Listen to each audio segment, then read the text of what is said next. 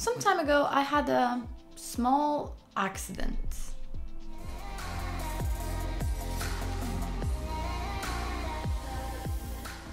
Generally, I have lost my RX link during the flight when I wasn't really that far away from myself. Now, I probably could see it coming considering the fact that the morning before I saw this.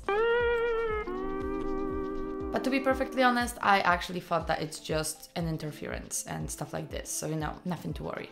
So in this video, I want to share some stuff that I learned about getting the most out of your crossfire so you don't have to end up like me searching for your quad in forests in the mountains, which by the way was found. What up everyone, it's Lexi and in today's video I'm gonna share some of the knowledge that I got from a really nice gentleman, Heiko Sheng, who was telling me all of those things while we were looking for my quad in the mountains. Now, some of those things I didn't know of, so maybe you didn't know of too. Let's go. Make sure your antenna is actually tightly in. Most of the drone backpacks don't really allow us to put the whole radio with the antenna inside, so what we do usually, I don't know if you do it, but I do it a lot. I just unscrew the antenna and put it on the radio, meaning that I'm unscrewing and screwing in the antenna a lot. Now, what this may cause is the fact that the antenna one day eventually gets loose. As you can see here, there is a security ring which is supposed to prevent the whole thing from moving. But the thing is, what if you are a weakling, like me, and don't even know that it's not tight enough? So to prevent this from happening, all you have to do is to take the tools with you just to make sure that all of the rings are tightly in and the antenna is not really moving inside because this may actually cause the failsafe. Now in my situation from the video before, my antenna was not in due to the fact that one, the security ring was a little bit, a lot, uh, too high and I didn't even know that my antenna is not tightly in. Another thing is that my antenna is actually pretty old and the whole module is old, so I kind of figured that it's normal that it's moving at this point and that was absolutely my mistake. The thing is, if the antenna is not deep enough, this little dingle there is not going to touch. So you're gonna get information kind of in intervals or something like this because it's not really touching, it's not getting full amounts of energy or information that it should be having because it's just not touching. Imagine the situation that you have those cabled headphones and at one point one of them stops working unless you are doing something with the cable, putting it into the right position and stuff like this. It's basically the same situation, but you don't want to do it with your drone. Two antennas are always better.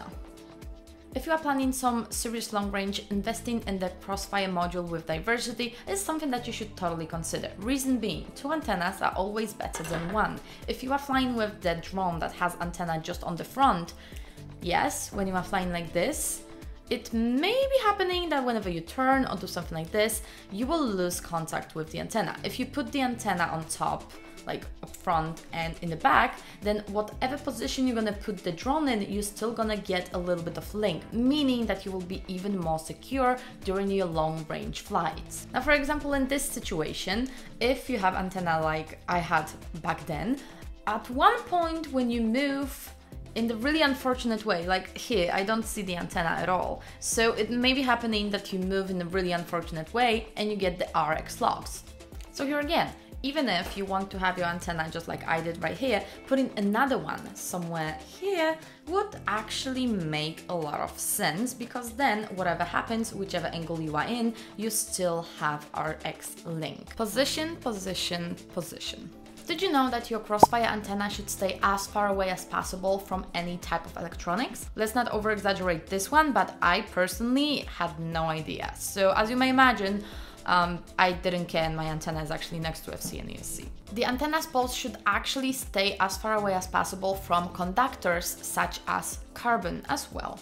Generally, if you have just one antenna on your crossfire, the best position for it is somewhere farther away from carbon, just like here. I'm giving you a little bit of a close-up, as far away from electronics as possible. So mine is actually on a little dingle, so it's kind of farther away, but it's absolutely not perfect. It's actually far away from perfect because it's too close to FC and ESC anyway, but it has to be clear from anything and has to be safe from your turns. So whichever turn I'm gonna take, this one pole will always be somewhere within the range of my radio. So the antenna, I can actually move it, shouldn't be like this, because then when I turn, it's really unfortunate. It has to be kind of standing like this. But yeah, you can actually destroy it while landing and stuff like that. Yeah, but you know, what's most important in this is up to you. If you have two antennas, having one on the front and on the back is absolutely okay. Just like in the Flywoo, it has front, it should also have a back. So then it's kind of like clearer from stuff. And also the antenna here, if you can see it, is a little bit farther away from the carbon, but it's also far away from perfect. Antenna state. So yeah, we all crash, stuff happens, uh, we are losing parts of stuff and sometimes those antennas from Crossfire don't look as they should. Now the thing is, if you want to really do some long range, be sure that your antenna state is basically splendid. Sometimes it may be happening that your antenna is broken in the least fortunate place, like next to the UFL or next to something that you actually haven't covered with tape. So be sure to always check your antenna state and if it's not broken. If you are kind of losing the RX really fast, be sure to come back as fast as possible because maybe there's something wrong with your antenna. Be sure that it's in a really splendid state, whatever is going on. Check your settings. This may not impact you as much if you are using Crossfire just for your freestyle and long range, but back in the day, like even half a year ago, I was using my Crossfire both for racing and for freestyle. Now the thing was, for racing we had special settings and there's a setting called race and we could just do 25 milliwatts. So changing those settings wasn't really on my list of priorities, which was probably something that also caused the issue presented in the video below.